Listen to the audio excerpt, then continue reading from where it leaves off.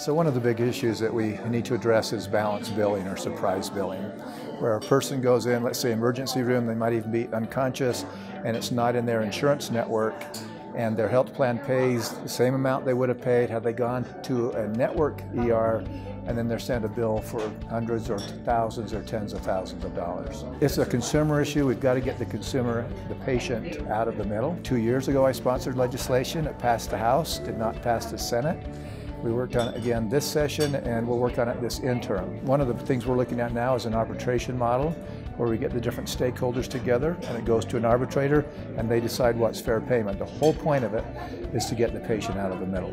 So the federal government is looking at it but they also often look at a lot of things and don't do much. They actually might do something this year. Washington just passed a, a law last week so we're, in fact, we were just having a discussion. One of the things I like about this uh, conference is the, the hallway discussions. I'm talking to some people about balance billing, and uh, they shared some ideas of things that we can do. For example, if you're a provider and you're out of network for somebody, if you want to bill that person's insurance, then you have to agree to accept whatever that insurance plan pays you.